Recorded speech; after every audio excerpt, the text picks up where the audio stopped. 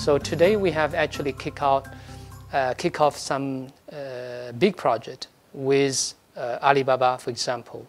to use AI to analyze our supply chain,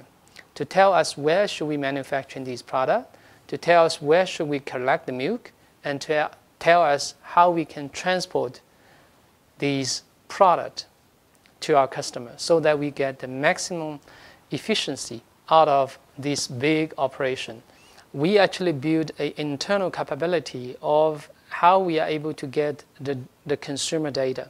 out of a, a huge database. We have like 20 million consumers that are actively talking to us. So in our data bank, we know exactly uh, who they are, uh, what's their behavior, how they're going to interact with us, and what we use all these analysis to tell us better how we should design our product, adjust our formulation in order to uh, meet their needs. This actually give a lot more transparency to the way we run in business